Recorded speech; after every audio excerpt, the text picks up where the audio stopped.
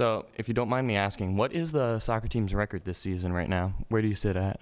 As of now, we're unbeaten. I think it's five or six and now. Five or six and all. And I just want to know this year, who would you say your biggest competition is in the league? Biggest competition skill wise is I would say Northampton, but you know, rivalry rise, it's always a mess. We always show up for that one. That makes sense. And the day this is being recorded, actually, I do believe the team plays Northampton tonight. Mm. This won't be out till next week, but that'll be a good game. Excited to see how that one goes. Me too. Are you prepared for that one? Yeah, we've prepared. We've simulated their field since it's narrow and shorter. Mhm. We're just, you know, we're not really changing our play style, but we're just taking notes of some some of their threats.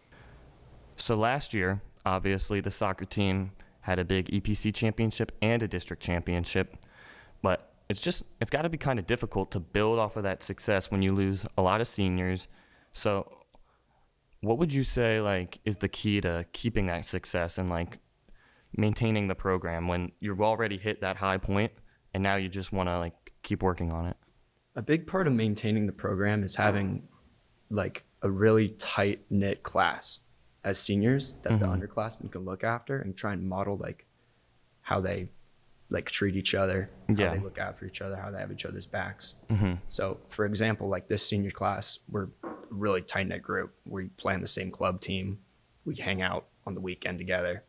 We park next to each other. I mean, we're really just like outside of soccer, we're just like a friend group. Yeah. And I think we're setting a really good example. I think you can even see it taking shape like during the season. Like our our junior class, the rising seniors, next year, they're going to be a, almost as tight knit as us. So the thing about Parkland sports, they succeed, but it takes a big amount of time, right? What would you say would be good advice for a student athlete here at Parkland on managing their time? uh, being a student athlete is definitely it's it's hard but it's also a great experience Oh, 100%. Because you have you can have the satisfaction of having great grades and having great performance and winning championships. But honestly it's it's harder than it seems to find time to manage both.